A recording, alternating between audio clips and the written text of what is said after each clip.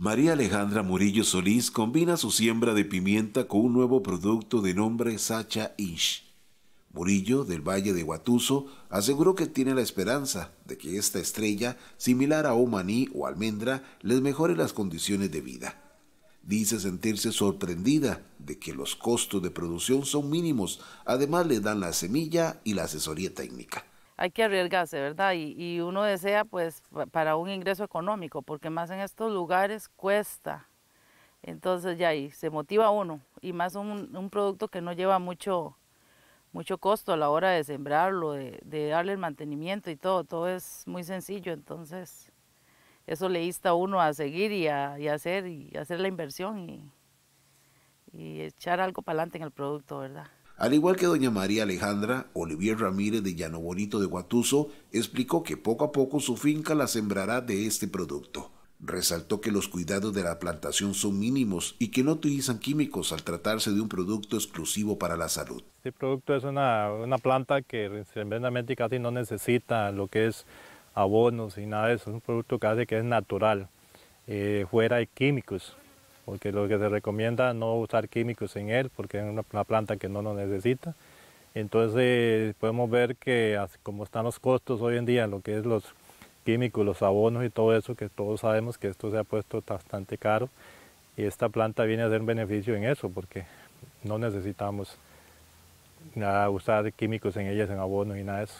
En la zona norte existen 250 hectáreas sembradas de Sacha Inch, pero en el 2025 la propuesta es superar las 5.000 hectáreas. Es por ello que los inversionistas de origen español árabe se reunieron con un grupo de agricultores de la zona norte para darles a conocer las bondades de este nuevo producto para Costa Rica. Dicen que están dispuestos a comercializar directamente con el agricultor, por lo que firmarán un convenio de garantía para la compra del fruto.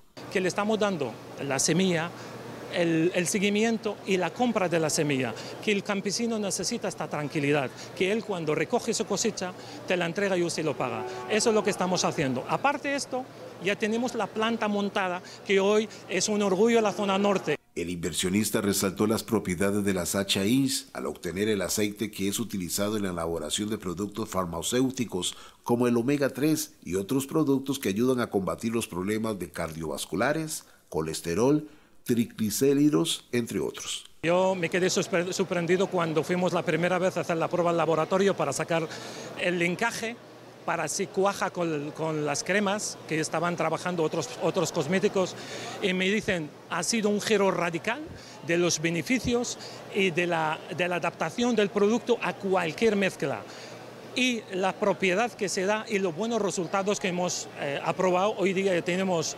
acuerdos con franquicias muy importantes porque necesitan este producto en el mercado europeo.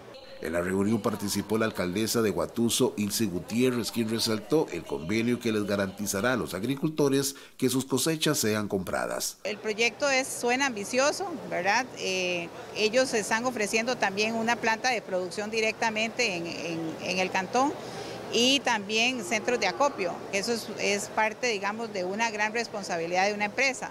Este, también eh, a nivel de contratos para poder formalizar ¿verdad? y hacer el proceso con una demanda por la cantidad que ellos requieren en el producto como tal de materia prima. Eh, también eh, tienen ellos la iniciativa que están evolucionando en un tipo de harina que también puede producirla a través del banano, que estas zonas son muy aptas para esa siembra de ese producto. Somos de los mejores en las calidades de plátano y tubérculos, eso lo tenemos claro. Entonces, bueno, Guatuso puede ser un gran potencial en la parte productiva y hoy por hoy los productores han estado en mucho abandono y ellos necesitan un respiro. La planta de proceso que incluye el pelado y la extracción del aceite de la Sachaín se habilitó en el higuerón de Upala y en cada cantón de la zona norte operará un centro de acopio del fruto. Ahora los agricultores de Guatuso esperan que la Sacha sea el producto que les ayude a mejorar sus condiciones de vida.